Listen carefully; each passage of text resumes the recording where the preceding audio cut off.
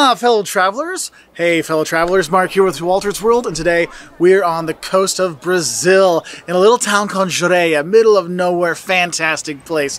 What I got for you today is basically what tourists should know before they come here to Brazil. Because when you're wondering what language they speak here in Brazil, they speak Portuguese. They speak Portuguese, okay?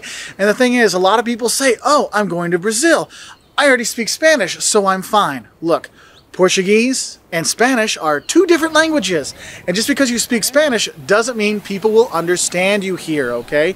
Because the differences in the language. The people here, they speak Portuguese. Very few people will be speaking English or Spanish to help you out, okay? Now, if you go to a kind of a higher level of hotel or restaurant, there will be people speak English. And like Rio, there's a lot of tourists going there. You have a better chance of finding a lot more English there. But in general, you need to know a little Portuguese when you come here.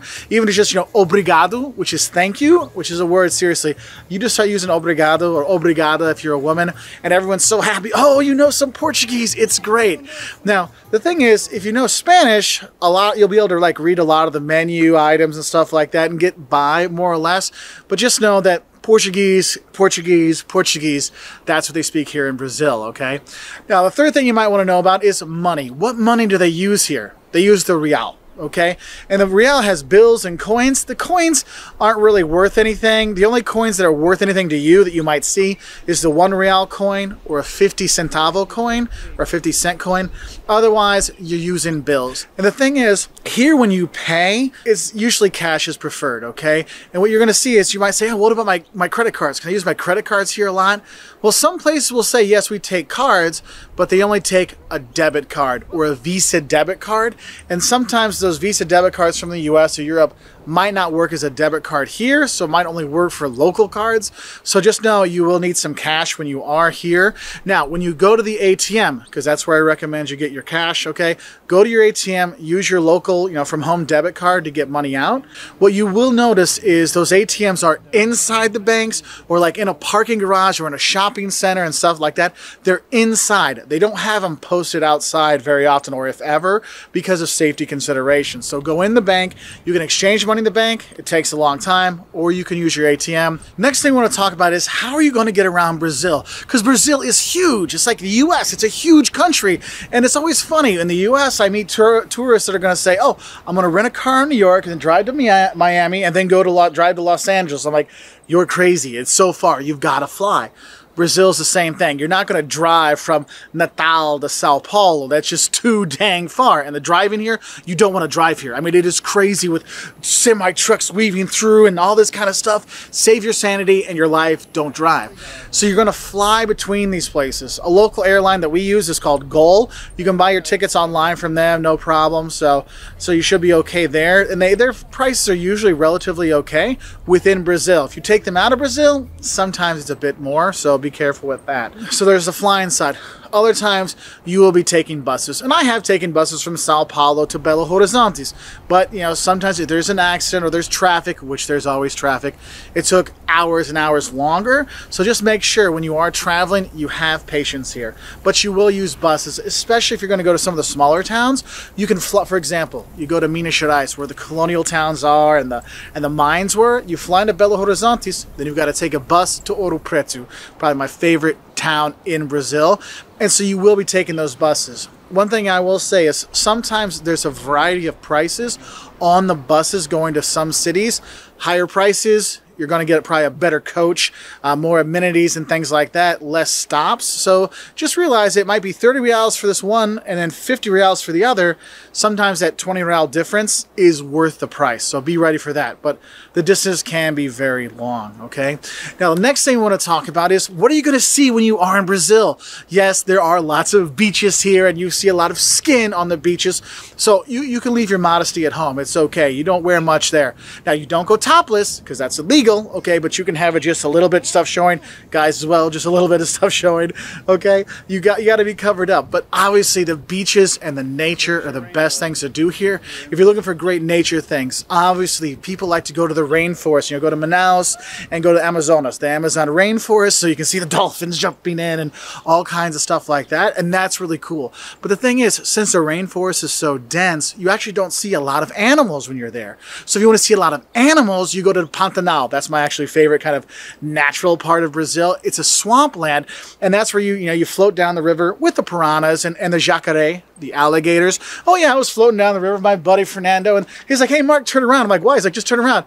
I turn my head, and there's a jacare with his mouth wide open, waiting for me. I'm like, "Oh my god!" Okay, you can fish for piranha, all kinds of cool stuff. If you want to have you know the Afro-Brazilian culture, go to Salvador da Bahia. Totally cool there. If you want to see, oh, one place you gotta go Iguazu Falls, probably the coolest waterfalls in the world in Iguazu. You can go there, it's right on the border with Argentina.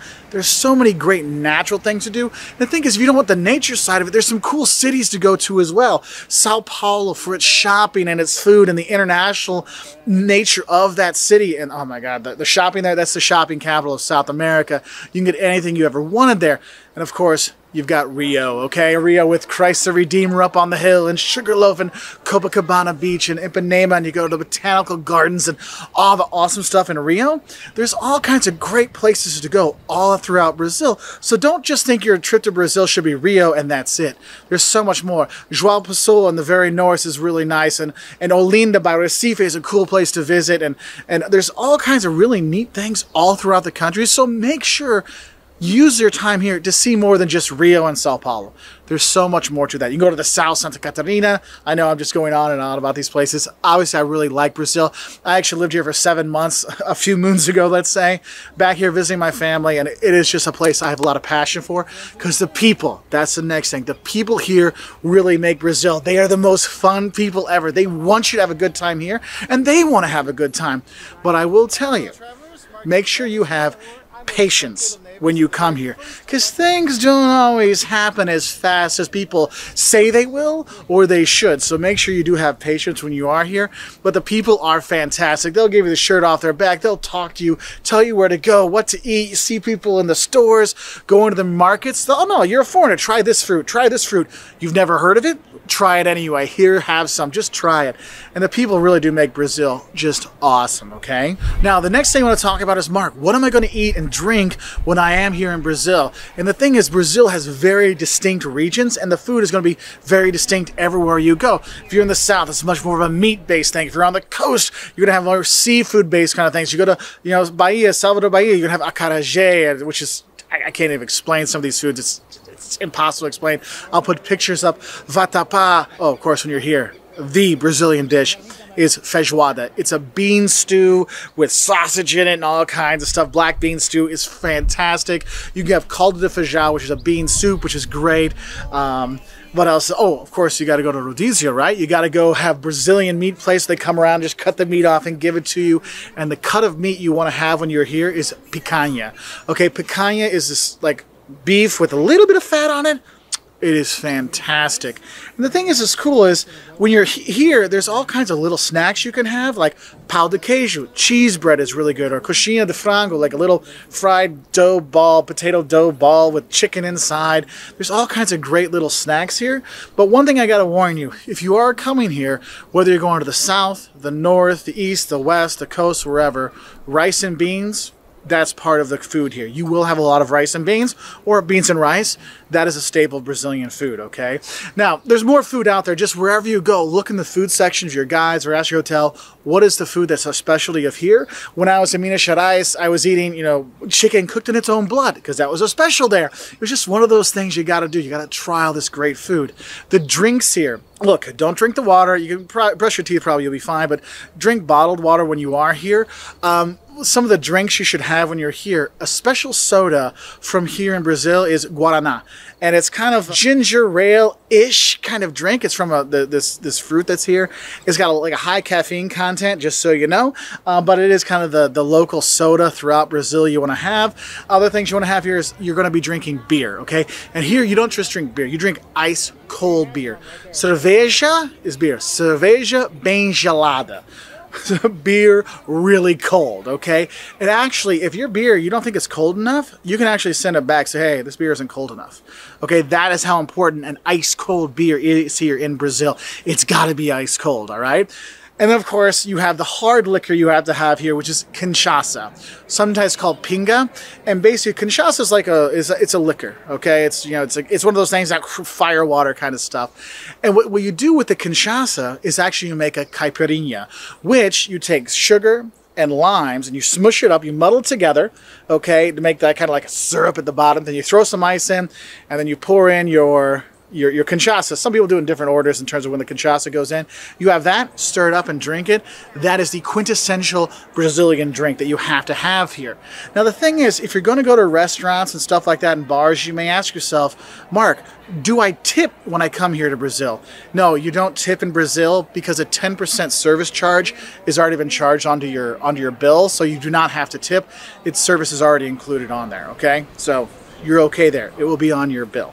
Now, another side thing is when you're coming down here, you might ask, well, Mark, what plugs do I need to use? Because I've seen different plugs online because Brazil actually has a new system. It's, they have the N system, which has got the, the, the two plugs like you have in Europe, and then there's a third plug down here that goes in. Now, if you have plugs from Europe, those two round things will go in, no problem. But the electrical system they use here in Brazil is the same as the US.